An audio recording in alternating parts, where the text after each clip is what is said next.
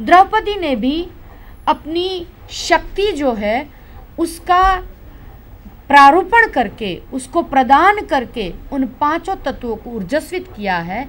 तो इस प्रकार दोनों खंड काव्य भले ही एक छोटा सा प्रसंग है हाँ। छोटी सी घटनाएँ है बिल्कुल। और दोनों कवियों ने अपनी कलात्मकता से उन प्रसंगों को दिपाया है। तो ये आज क्या है। हाँ, नमस्कार।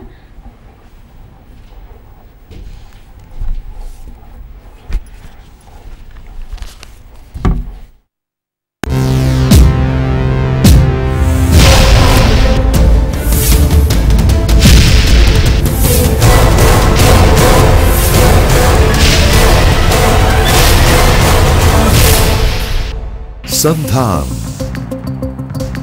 ઓલ ગુજરાત ઇન્ટિગ્રેટેડ ક્લાસરૂમ સેટેલાઇટના માધ્યમથી જોડતી કડી એટલે સંધાન